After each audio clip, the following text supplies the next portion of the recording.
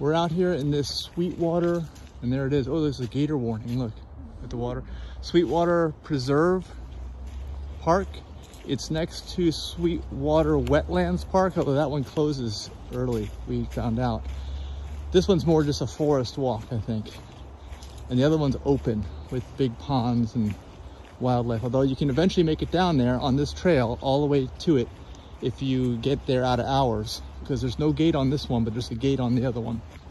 Just a, a little bit of a hike and it looks like basically almost all woods. So that's it. That's my only, that's my small trail report here. Actually, I think I was incorrect. You're, this will not connect with the Sweetwater Wetlands Park unless you go way off trail or something to do it. Well, there used to be a trail following along the creek here and they've, they've closed it. That's the issue, I think. This Sweetwater Creek is very clear water. And this is the bridge across Sweetwater Creek.